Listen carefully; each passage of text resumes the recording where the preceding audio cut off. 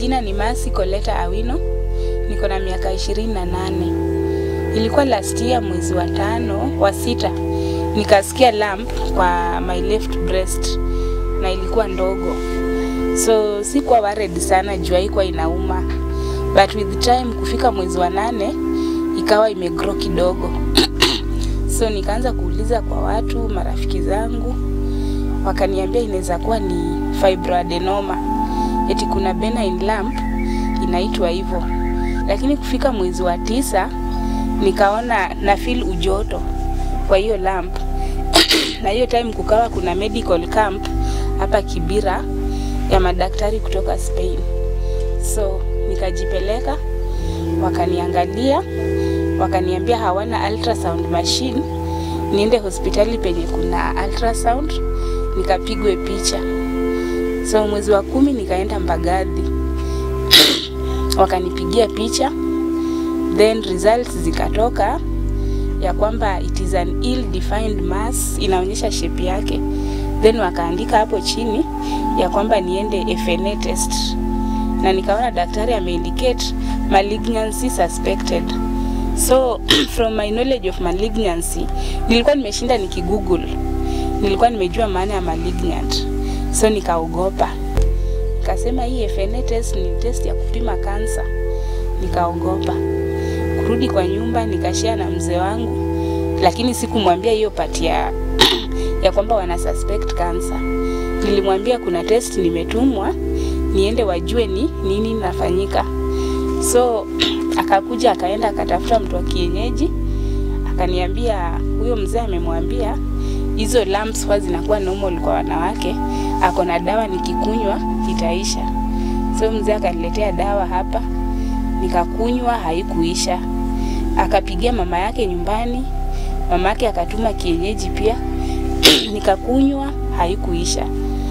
So kufika mwezi wa kumi na moja hii kitu imeendelea kugrow, nikajirudisha CDC. Kuna hospitali hapa inaitwa CDC Carolina for Kibera, then hao pia wakanipima, wakanipiga picha ya pili, na huyo daktari pia kuangalia hiyo lump pia akaniambia this might be fibroadenoma na kama ni hiyo utaenda tu mpagadhi wato watoe.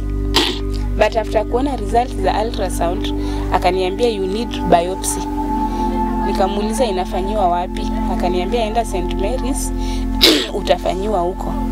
Then kuinquire cost akaniambia ni elfu nane. So nikarudi na kuangalia financial status mali naishi, singe afford hiyo 8000. So hii mkono nikawa nasikia ni kama inakufa ganzi nikawa worried kabisa. Nikitembea lazima niinue mkono juu, haiwezi kaa chini. Nikasema hapana, hii ni kurudi hospitali.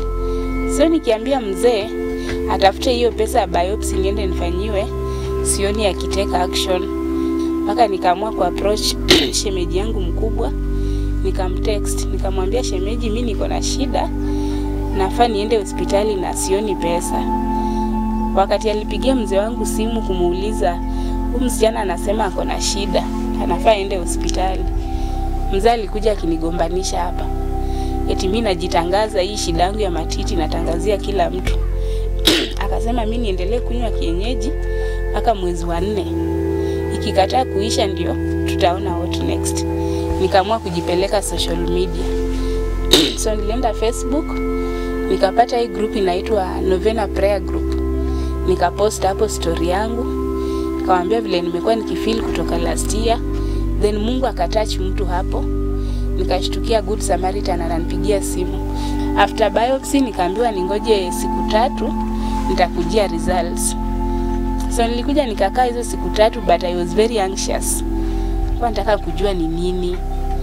So after hizo three days nikaenda nikapata huyo receptionist aka hand over envelope ananipea kanipea tu barua akaniambia rudisha kwa hospitali kwenye ulitoka.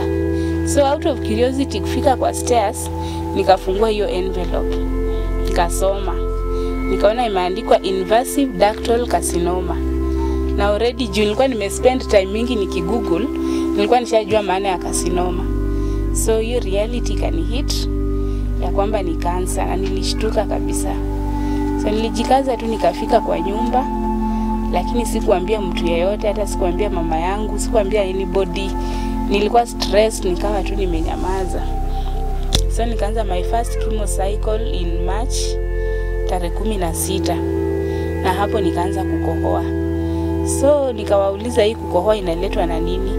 Wakaniambia ni as a result ya hiyo cancer cells iko kwa lungs, but vile umeanza kimo ita itaisha, but unfortunately ijakuwa the case. So hii kukohoa imekuwa persistent. Kutoka mwezi wa tatu, imekuwa worse, imefika sasa hata kutembea ni shida, imenibana kifua kabisa, ninakohoa day and night. Hata ni, ukiona thermos kwa meza hivi ni maji moto, nimeshinda nikikunywa maji moto na alternate na maji ya ndimu. So imekuwa challenge kubwa kabisa. Ukitembea na hii msimu wa corona, watu wanaona ni kama uko na corona. Hata nikienda OC, hata madaktari wenyewe wanasema ibuka kando, wanaona ni kama niko na corona. So nimekuwa nikistruggle mwenyewe through friends, nikaform WhatsApp group na my former classmates wananisupport from everything. Nikihitaji hata madawa inabidi niwaambie waanze kusanya pesa. Tangu bwanangu ajue niko na kansa, alinigeuka kabisa, amenistigmatize kabisa, yaani niko kama naweza mwambukiza. So niko na ombi kwa Wakenya wanisaidie kufight cancer. Cancer management na treatment imekuwa expensive.